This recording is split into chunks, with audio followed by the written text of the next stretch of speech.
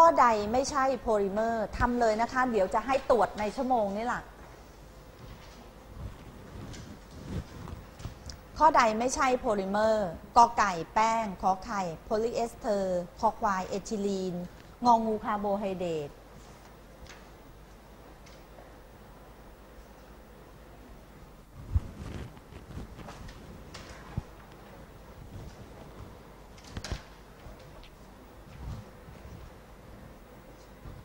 ยบร้อยไหมคะ ข้อต่อไป เสร็จนะคะ ข้อต่อไป โมโนเมอร์ของคาร์โบไฮเดรตคือกอไก่สไตรีนขอไข่กลูโคส คอควายแป้งงองูน้ำ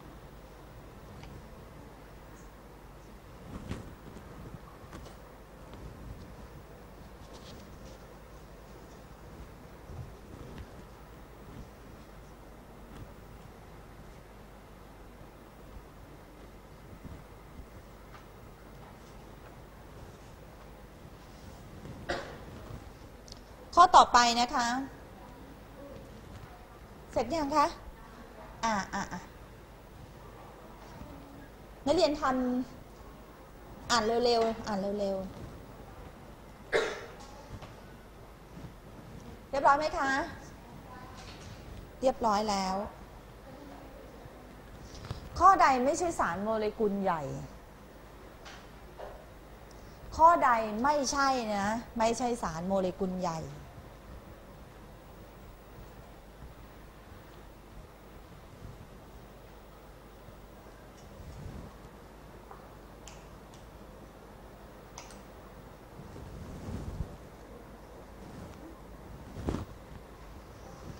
ข้อใดไม่ใช่สารโมเลกุลใหญ่ก็ไก่กรูโคสขอไข่ยาง ขอควาย PVC งองูโปรตีนนะคะ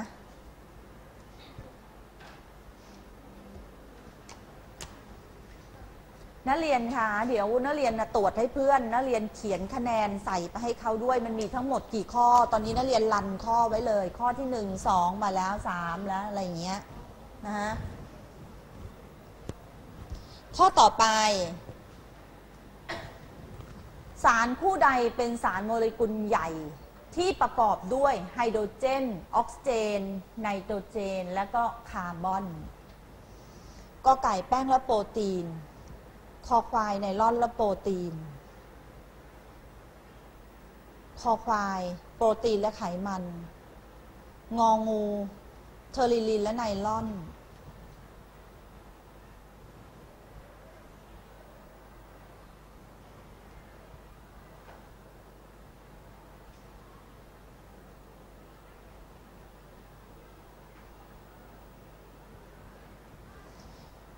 ฝากนักเรียนกลับไปทำอะไรคะ แบบฝึกหัดท้ายบทให้เสร็จส่งด้วยนะคะ วันนี้วันจันทร์ส่งวันศุกร์วันศุกร์เรียนวันพฤหัสแล้วก็กลับไป วันนี้ก็กลับไปทำได้แล้ว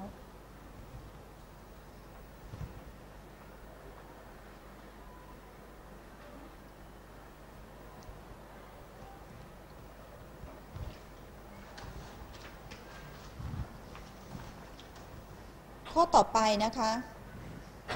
โพลิเมอร์แบบควบแน่นเมื่อกี้เราไม่ได้สรุปเรื่องการเกิด polymerization กระบวนการเกิด polymerization นั้นมีด้วยกัน 2 แบบ ก็มี 1 แบบต่อเติมหรือแบบเติมกับแบบควบแน่น ซึ่งนักเรียนก็ได้เรียนไปแล้วนะเพียงแต่ว่าไม่ได้หยิบมาพูดว่ามันเกิดความต่างอย่างไร ทีนี้ล่ะ จะมาเจอแบบทดสอบข้อนี้บอกว่าโพลิเมอร์แบบควบแน่นเกิดขึ้นเมื่อกอไก่ผลิตภัณฑ์ชนิดหนึ่งเป็นน้ำขอไข่มีโมโนเมอร์เป็นแอลคีนคอควายมีตัวเร่งปฏิกิริยา งองูโมโนเมอร์ มีหมู่ฟังก์ชันต่างกันทำปฏิกิริยากัน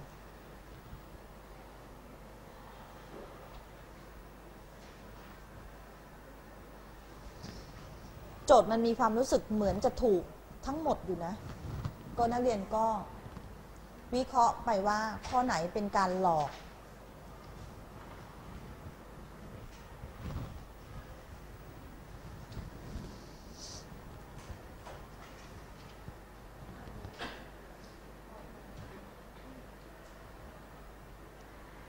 โมโนเมอร์แบบควบแน่น มันมีข้อที่เหมือนจะถูกเลย แต่มันอาจจะไม่ถูกก็ได้นะนักเรียนสังเกตให้ดีดูตัวเลือก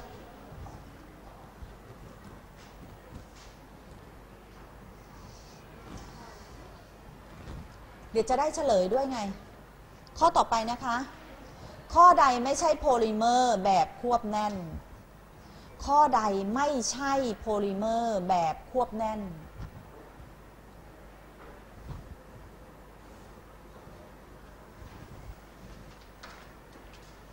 มีแป้งไนลอน โปรตีน เทฟลอน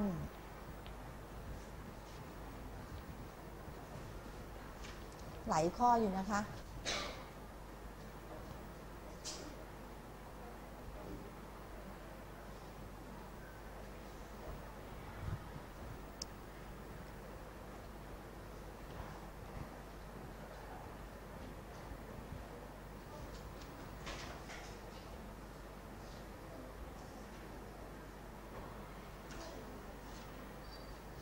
ข้อต่อไป เสร็จไหม ข้อใดเป็นเทอร์โมพลาสติกทั้งหมดกอไก่พอลีเอทิลีนพอลีไวนิลคลอไรด์ยูเรียฟอร์มาดีไฮด์ขอไข่เทฟลอน โพลีโพรพิลีน โพลีสไตรีน คอควายเทฟลอน เบเคไลท์อีพ็อกซี่ งองูฟอร์มิก้า เบเคไลท์ยูเรียฟอร์มาดีไฮด์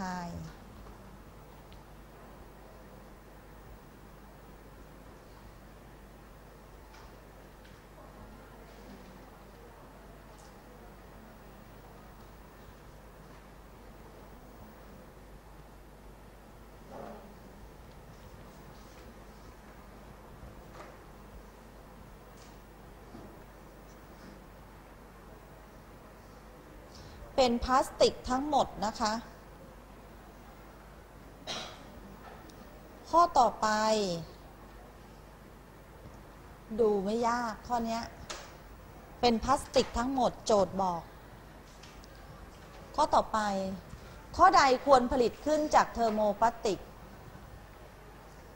ข้อใดที่มันผลิตขึ้นจากเทอร์โมพลาสติก เทอร์โมพลาสติกคือพลาสติกที่ทำไมคะ ขึ้นรูปได้ก็ไก่ขวดน้ำด้ามกระทะกับเบื้องยาง ข้อไหนเจอสะดุดปุ๊บข้อนั้นต้องตัดทิ้งไปเลย ขอไข่ถังน้ำเครื่องเล่นเด็กผ้าปูโต๊ะ คอควายท่อน้ำปลั๊กไฟโทรศัพท์ งองูอ่างน้ำแล้วก็พรมน้ำมันพรมน้ำมันเป็นเออคล้ายๆ ออกไปทางยางที่เธอรู้จักพรมยางอะไรนั่นแหละค่ะแล้วก็กรอบแว่นตา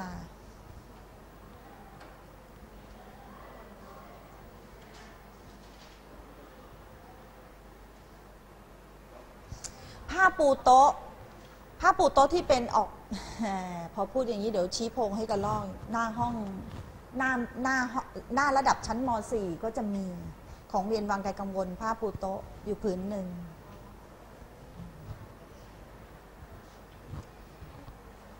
ข้อต่อไปนะคะ คิดนาน โพลิเมอร์ในข้อใดที่สองชนิดแรกเป็นเทอร์โมพลาสติก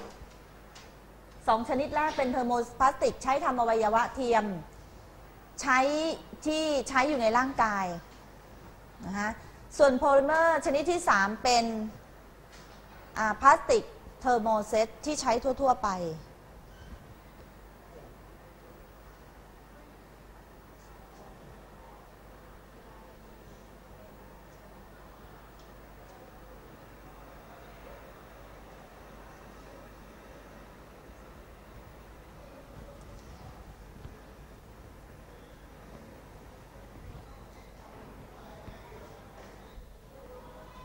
บางครั้งบางครามันก็ต้องมีการเดาบ้างนะดังนั้นก็ทำไมคะ ถ้าช้าเราก็จะเสียพาเล่มงามแน่เลย เสียแบบทดสอบอีกหลาย ๆ ข้อ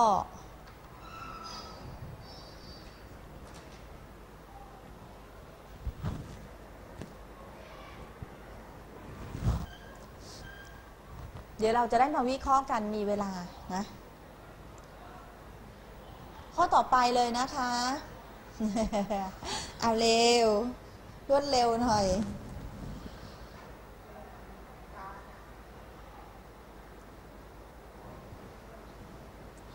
อ่านไปอ่านช้อยไปอะตัวเลือกมันอะ พอเจอตัวไหนที่มันไม่ใช่ก็ทิ้งไปเลย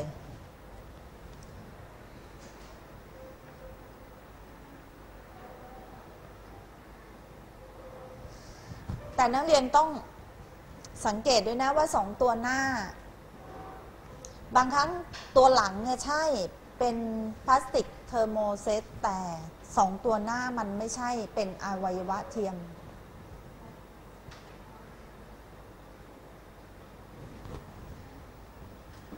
เอาเอาเมลามีนเนี่ยมาเป็นอวัยวะเทียมตายเลยนะเนี่ย ตายเลยเนี่ยเจออย่างเงี้ยนะ ตัดทิ้งไปได้เลยอย่างเงี้ย อันนี้เขาเท่ากับบอกไปแล้วหนึ่งข้อแล้ว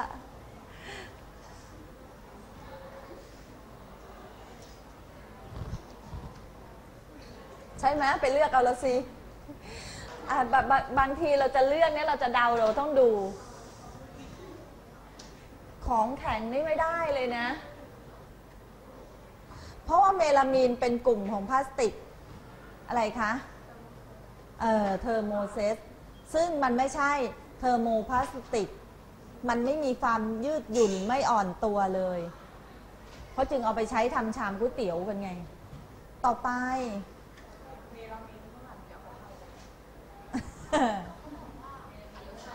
อันนี้อันนี้ตีกันแล้วค่ะ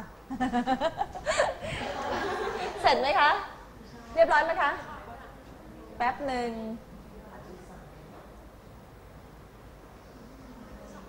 แล้วไม่เหลือเวลาไว้คุณครูได้อธิบายเหรอ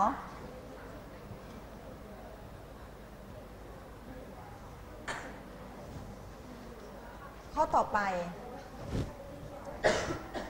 นักเรียนรีบดูโจทย์เลยนะคะ โพลิเมอร์ในข้อใดเหมาะสมในการผลิตขวดน้ำซึ่งมีสมบัติโค้งงอได้มาก อ่อนตัวเมื่อได้รับความร้อนและแข็งตัวเมื่ออุณหภูมิลดลง ที่กล่าวมาทั้งหมดเนี่ยคือเทอร์โมพลาสติกทั้งหมดเลยกอไก่ ชนิดโครงสร้างแบบร่างแบบแบบร่างแหหรือแบบแขนง ขอไข่ อันนี้ง่ายๆนะข้อเนี้ยชนิดโครงสร้างแบบสายยาวหรือแบบสาขา คอควาย ชนิดโครงสร้างแบบสาขาหรือแบบตาข่ายงองูชนิดโครงสร้างแบบตาข่ายหรือแบบสายยาว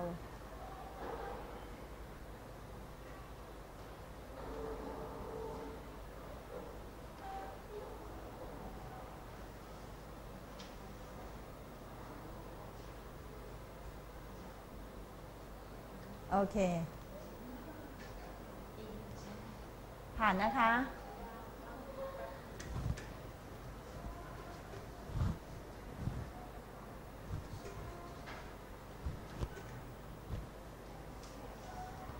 คนที่เป็นโรคภูมิแพ้เกี่ยวกับระบบทางเดินหายใจ เช่นแพ้นุ่น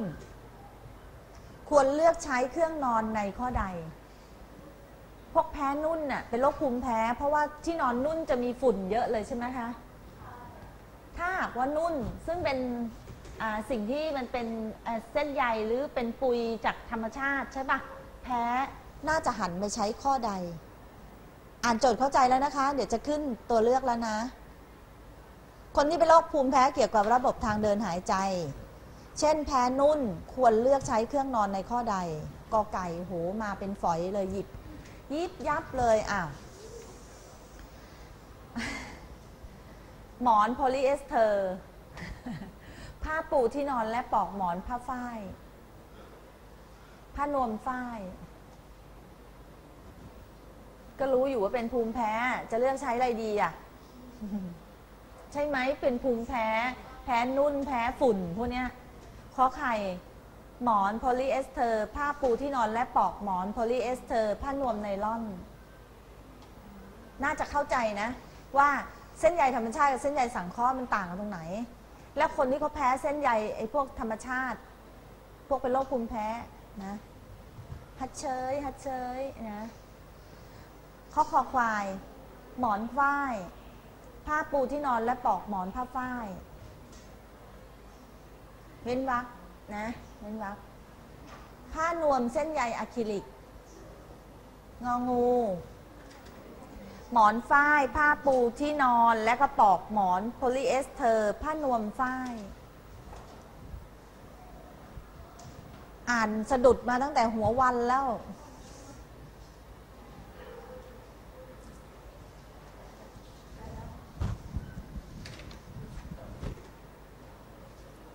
เลือกตอบแล้วไปเลย